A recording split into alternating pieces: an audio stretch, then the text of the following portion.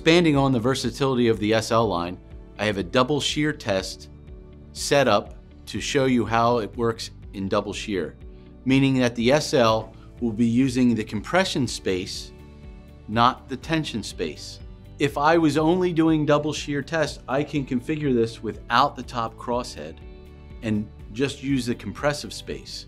With the compressive space that we're using here, we're using the hydraulic piston, which is a virtual friction-free piston and cylinder.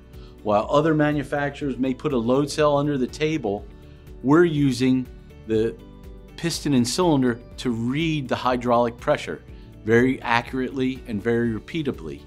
Again, meeting your ASTM, your ISO, and GB standards throughout the world. Keep in mind that most customers are on a yearly calibration. We have a complete service department that calibrate the machines throughout the world. If you need a six month or quarterly calibration, we can enter that into our systems and have the calibration team contact you when needed. You have the ability to have this in all type of environments, whether it's out on the shop floor with uh, that dirty environment, it is built to last and withstand all those type of environments.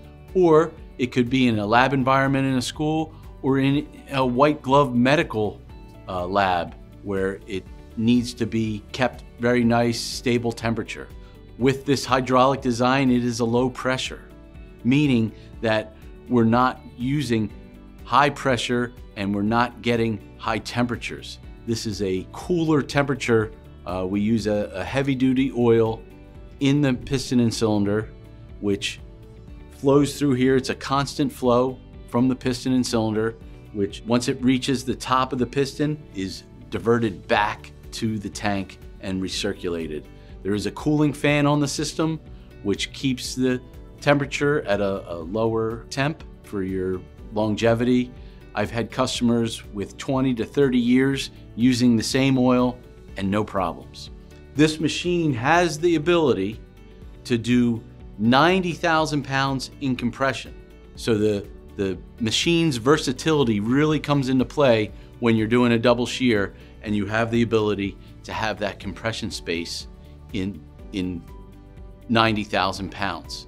The 600 SL, which is the machine that's a step up from this, also has that ability. Instead of going to 600 kilonewtons or 120,000 pounds, you can have that machine go to 180,000 pounds in compression.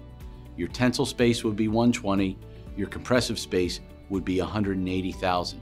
The double shear test is very critical in a lot of aerospace applications. Your Boeings, your Airbus, all do double shear. So now I'm gonna home the machine. As you can see, I am away from the specimen itself. I will first home the piston, which is very important to get the oil around that weighing system that we use.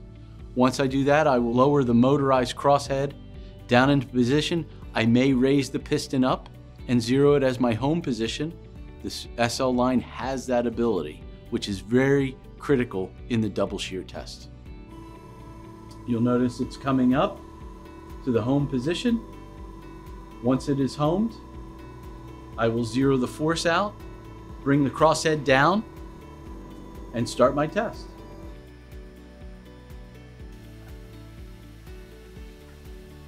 This crosshead has the ability to go up and down 20 inches a minute. So that's what I call a coarse adjustment. If I'm going 20 inches a minute, I can get it close to the part, but I don't want to use that crosshead to get so it's touching the part because you could overload the crosshead and then you have to lower the piston down. So what I do is I bring the crosshead so it's close then I use the software, the Horizon software, and I feather the piston up to the part so it's close so I'm not wasting time waiting for the two pieces to make contact. I've now moved the crosshead 0.2 inches, 0.22 inches, so I'm gonna zero that. That will be a temporary home. So if I have 10 of these parts that I have to test, I can virtually just slide them out, replace the part, slide it back in and hit go because I'm at the same spot every time. Once I have the specimen ready to go, I now turn to the Horizon software and start the test. Right now I'm at 13,500 pounds with this test. It will now slowly start to drop off and I will, the machine will stop automatically and return the piston and I'd be ready to start my next test. At Tinius Olsen, we realized that the tooling for the double shear can be very expensive. So we've developed the software to work with the SL line that helps to protect the tooling, meaning that when you're running your stress rate at 100,000 PSI per minute up to yield, we switch from a stress rate and we, we match what the position rate is at that particular stress rate. So if you have your stress rate here, it takes a snapshot of your position rate. We switch to that position rate till the material starts to deform. Once that happens, we have a drop off in load.